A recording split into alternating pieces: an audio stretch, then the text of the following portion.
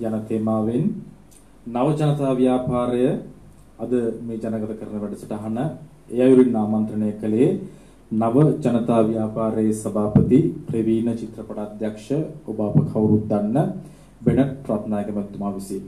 ඔහු තාමත් පැහැදිලිව ආරාධනා කරා කැපකිරීම කරන කුඩා කණ්ඩායමකට උනත් මේ වෙනස් කළ හැකි බැවින් මේ රැස් සිටින පිරිසට Taman සමග එක්සත්ව එක්සිත්ව මේ ගමන යාමට රොද බඳින ලෙස එසේනම් මීළඟට ලැබී තිබෙන්නේ තවත් වැදගත් අංගයක් මේ ඉසව්වේ නවජනතා ව්‍යාපාරයේ අස්ථානය සහ බහුජන ව්‍යාපාරයක අවශ්‍යතාවය යන තේමාව යටතේ මීළඟ අදහස් දැක්වීම ඉදිරිපත් වෙන්නේ.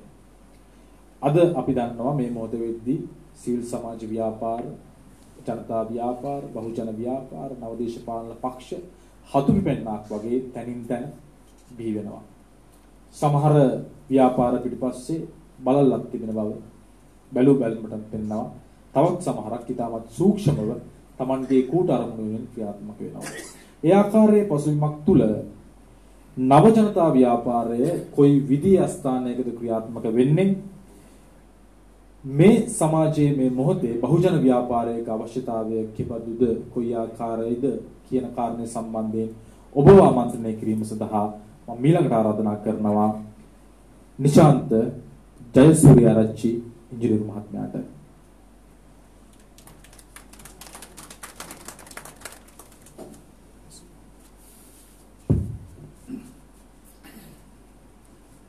මෙතන රැස්වී සිටින මගේ සියලුම මිත්‍රවරුන්ගෙන් මහත්ම මහත්මීන්ගෙන් හිතවතුන්ගෙන් අවසරයි.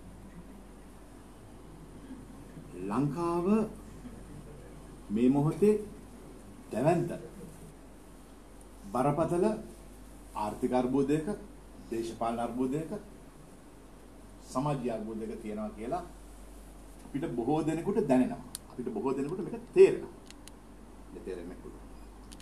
හැබැයි ලෝකයේ අද වත්මන් ස්වરૂපය බැලුව බැලමට ජාතික රාජ්‍ය 200ක් විතර තියෙනවා.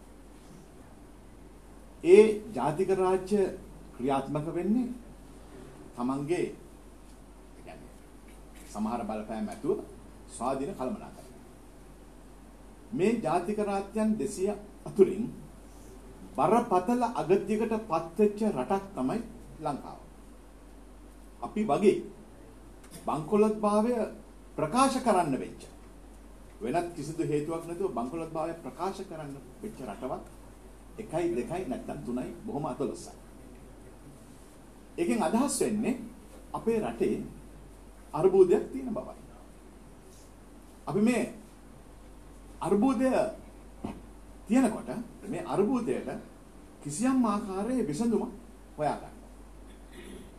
ලංකාවේ මේ තියෙන වත්මන් අර්බුදය හදිස්සියේ අහම්බෙන් ඇති වූ අර්බුදයක් විදියට අපිට පේන්නේ නැහැ.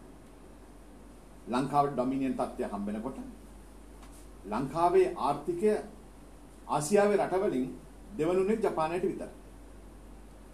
අපි එක්ස්පෝර්ට් මාකට් එකට දෙන ටේපල් රබර් සහ අනිකුත් ඒවල් අපේ ආර්ථිකය සාමාන්‍ය විදිහට නඩත්තු කරගන්න පුළුවන්කම ඊට අමතරව අපේ රටේ පොදු ජනතාව හුනෝ පණුවෝ බල්ලෝ බලලු කෑවේ නැහැ.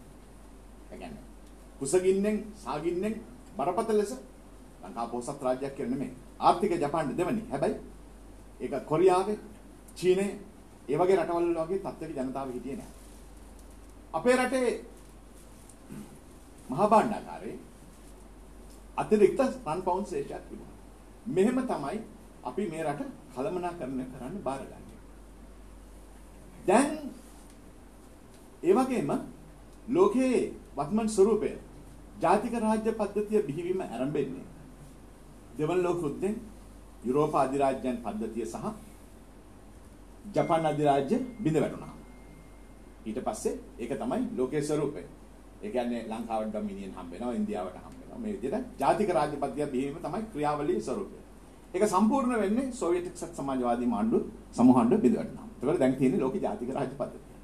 මේ ජාතික රාජ්‍ය පද්ධතිය ඇතුලේ බරපතල අගතියටපත් වෙච්ච රාජ්‍යයක් තමයි මේ ලංකාව. ඒ නිසා අපි මේ ලංකාව අගතියට පත් වෙලා කියලා දැනගත්තාම මේ රටේ පොදු ජනතාවට කරන්න පුළුවන් හැමදේම වගේ පොදු ජනතාවගේ පැත්තෙන් කරලා තියෙනවා. පොදු ජනතාවට කරන්න තියෙන්නේ අපේ පරිපාලනය අපේ තියෙන මෙකැනිසම්ස් අපේ තියෙන යාන්ත්‍රණ බිඳ වැටෙනවා නම් ඒක යථාවත් කරගන්න පුළුවන් කණ්ඩායමක් බල ඡන්ද දෙන එක. ඊට වැඩි දෙයක් පොදු ජනතාවට මේ ක්‍රමය තුල ඉතිරි කරලා නැහැ.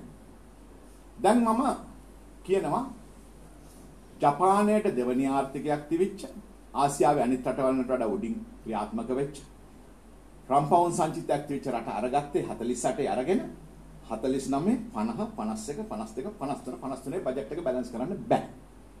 අවුරුදු 5යි. අපේ කළමනාකරන ධාරිතාවය අවුරුදු 5යි.